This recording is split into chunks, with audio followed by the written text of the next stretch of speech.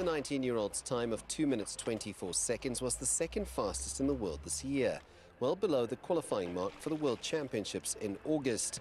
And although the financial science student admits to being surprised by the time, she knows that her hard work is finally paying off.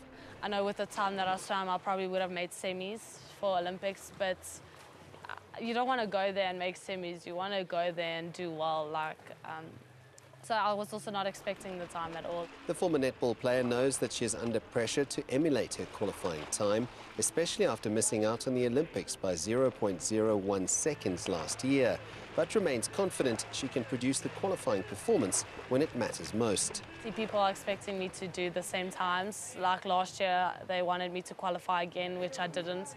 So that makes it hard, but then easing it, it's just like I know I could do it and I did it already. Schoenmaker says that it isn't for a lack of talent that women's swimming hasn't performed in the pool of late, but it has left the sport with many critics. It's really, it's hard for us knowing that the, like South Africa doesn't believe in us.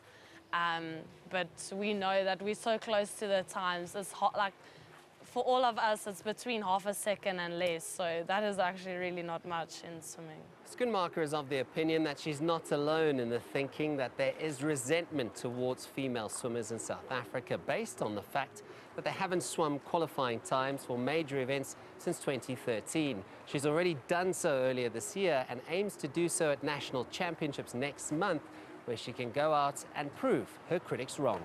Sias du Plessis, CGTN, Pretoria.